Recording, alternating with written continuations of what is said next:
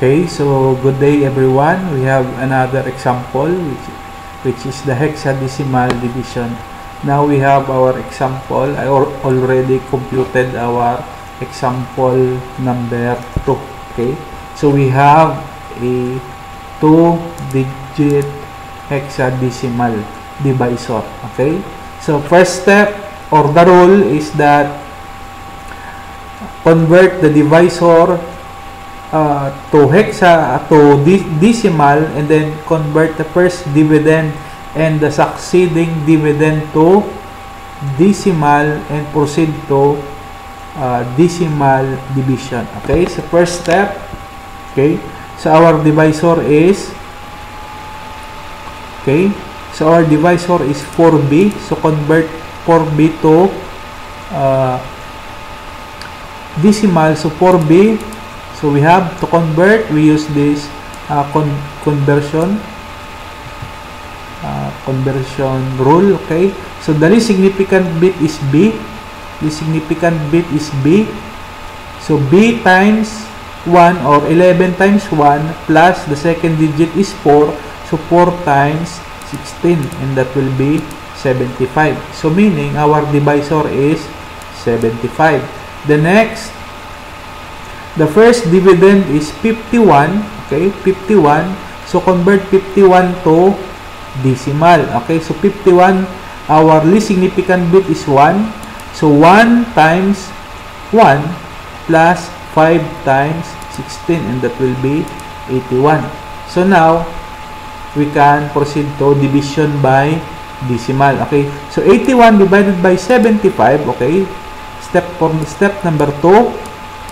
81 divided by 75 and the answer is 1.08 and the quotient is 1. So we write 1 and then multiply. 1 times 4b is of course equals to 4b. Okay, so 4b. This is your 4b.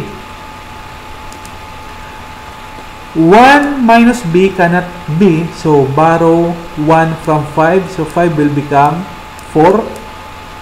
So b, uh, 1 plus 16 is 17 minus 11 and that will be 6. So bring down C. Okay. So 6C. Okay. So 6C is now our second dividend. Okay. So 6C is now our second dividend.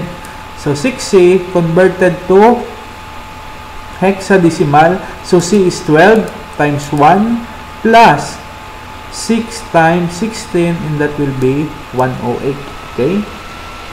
So you can rewatch the video and go your uh, use your calculator for the computation okay? Or you can follow the procedure with your calculator as you go on to uh, review this uh, video okay? So therefore we have 108 the second dividend. So we have 108 divided by 75 and the answer is 1.44.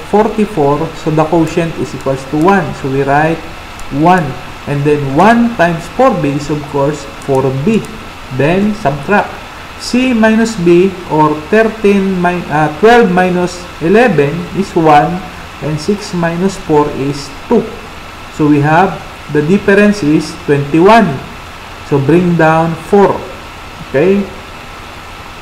Then, 214 is now our fourth, uh, third dividend or step number 4. Third dividend is 214. So, least significant bit is 4. So, 4 times 1. The second uh, digit is 1. So, 1 times 16. And the third digit is 2. So, 2 times 265. Or just follow this rule or rule for the conversion okay? And the answer is 532 so 4 times 1 plus 1 times 16 plus 2 times 256 is 532 so now our dividend is 532 so 532 divided by 75 and the answer is 7.0933 meaning our quotient is 7. So write 7 and then multiply. Okay? So we multiply. So 7 times 4b, okay? So or 4b times 7 is equals to b times 7 is 11 times 7 which is 77 and 77 divided by 16 that will be 4.8125 or meaning 4 the answer is 4 carry 0.1825 or carry 4 so the answer is 0.8125 times 16 and that will be D. Carry 4 plus 4 times uh, 7 times 4 which is 28 and the carry 4 we write 4 just follow the cursor so that will be 28 plus 4 and that is 32 now 32 divided by 16 and that will be 2 or meaning 0 carry 2 so therefore our answer is 2 0 D. Okay? Or recall your multiplication of hexadecimal. So our answer is 2 0 D. So meaning 4 times uh, 7 times 4b is 2 0 D so we write 2 0 D then we subtract 4 minus d cannot be. So 1, borrow 1 from 1. So this 1 will become 0. And 4 will become 20. So 20 minus 13, d is 13. So the answer is 7.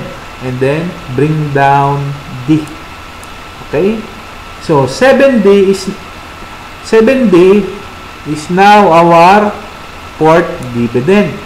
So 7d the least significant bit is D, which is equals to 13 times 1 plus convert converting to decimal plus 7 times 16 and that will be 125.